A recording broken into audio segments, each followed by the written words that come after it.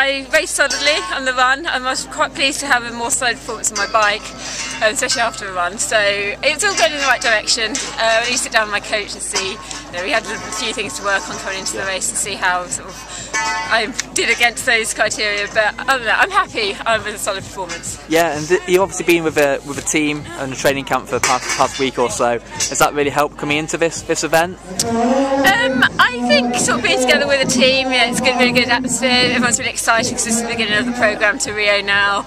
Um, first race for a lot of the people who are on that camp as well. So there's a real buzz and real excitement about today. So um, in terms of preparation, I mean, this was just sort of see where I was at the beginning of the season. It wasn't to go out and have a season's yeah. best performance, but um, I, it was great. Yeah. Great. All right. Well, well done. Congratulations.